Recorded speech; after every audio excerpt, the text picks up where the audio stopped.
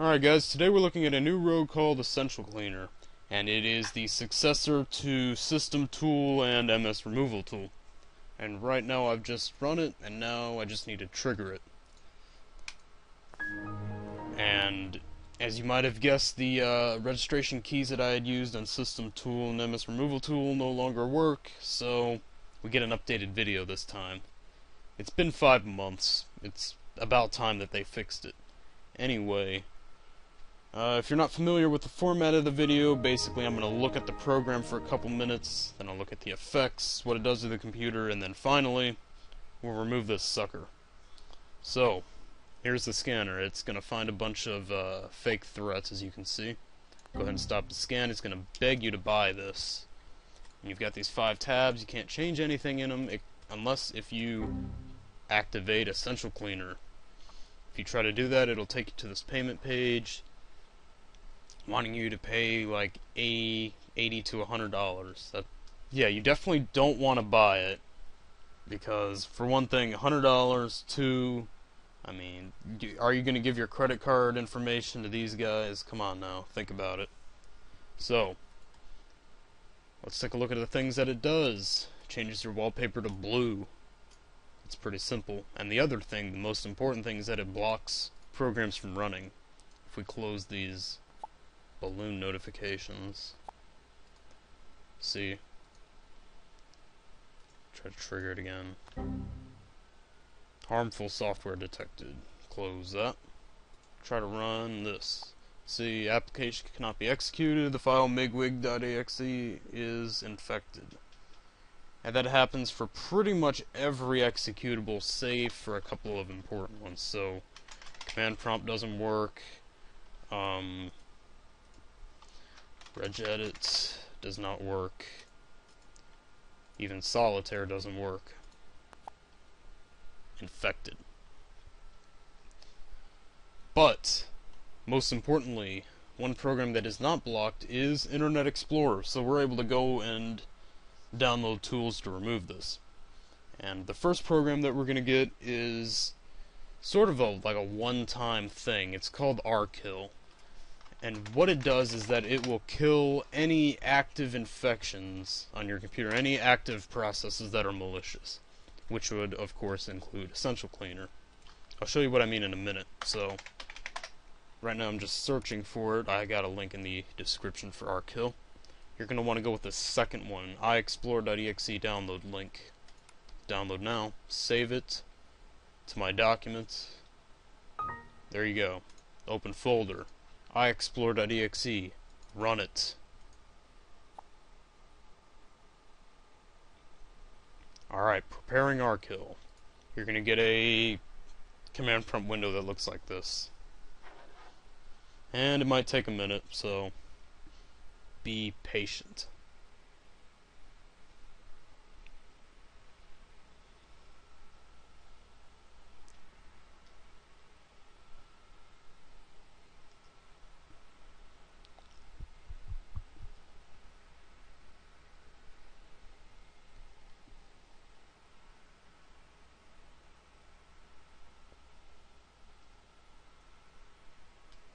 So it's terminating uh, the processes, it just reloaded your desktop, and we have a log. It shows what it killed. Now, if you're daring and bold, you can go to C Documents and Settings, All Users, App Data, and delete this weird looking executable. But you're probably not going to get all of the infection, and I very highly, strongly recommend you to go ahead and get Malwarebytes Anti-Malware. And that is a free program, very useful, very powerful, works pretty well.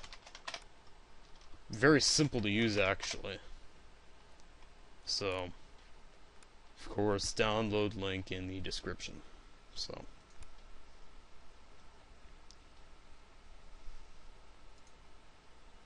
Go ahead and save it. And run it.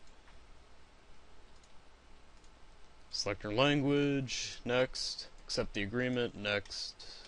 Just go through the setup.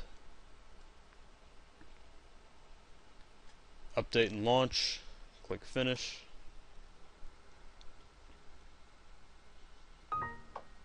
It'll say database updated, and there's Malwarebytes. Just to make sure that you're on the latest version, go ahead and go to the Update tab, check for updates. Boom, latest database version. Back to the scanner, go to Full Scan, and scan. Select your C drive. Alright, now for you guys, this scan could take a very long time, getting into the hours range. So be prepared to be waiting a very long time for this to finish. But I'm on a virtual machine right now, so this should take somewhere within like 30 seconds to complete. So, yeah, this is an unrealistic speed for a regular computer with a lot of files. So, yeah. This is actually taking a little bit longer than I thought it would, but that's okay.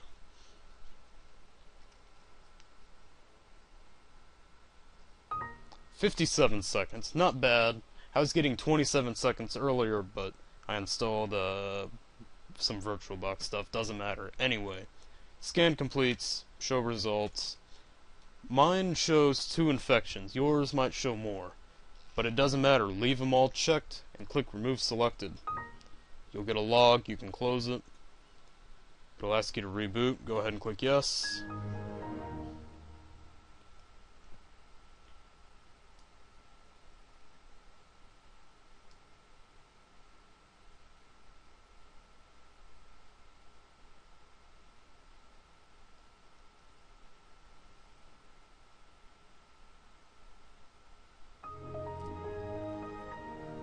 And that and that infection should be gone. As you can see, we can run programs and all of that. And if it ever comes back, if it's a recurring infection, you might want to try Combo Fix. It's a very powerful tool. Don't use it often. Uh, it's for removing rootkits and stuff like that. Know, Malwarebytes should kill it, but if it doesn't, you might want to try Combo Fix. It's in the description, all of the info for it. And uh, if this video helped you, I do appreciate donations. Got a link in the description for that in the bottom. So, thank you for watching.